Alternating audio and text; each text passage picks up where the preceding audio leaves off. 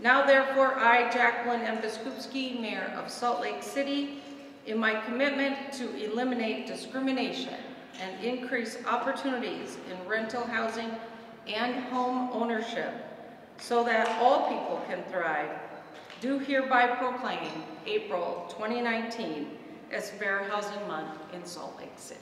So Fair Housing Month is an offshoot from the 1968 Civil Rights Act.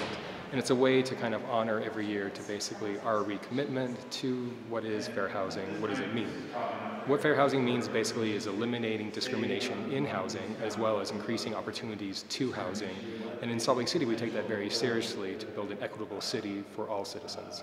We always try to make sure that we're taking a big step back and realizing that this is a nationwide issue. It's even a statewide issue, it's a countywide issue, but it's definitely affecting Salt Lake City very heavily.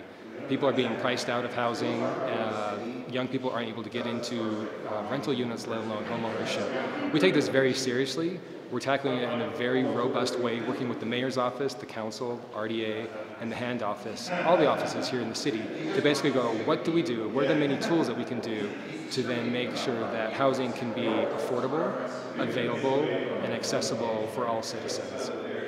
So what we're telling people during the month of April, since it is now Fair Housing Month, is to be aware of what are your rights and what are your protected classes under housing discrimination. Whether that's been a while ago, whether that's currently happening, where you're a tenant and being uh, sent away from places and not knowing why. If you feel that your uh, protected rights have been uh, discriminated against, we definitely want to refer you to Disability Law Center, one, or the State Labor Commission as well, who are experts can kind of help navigate you through this process.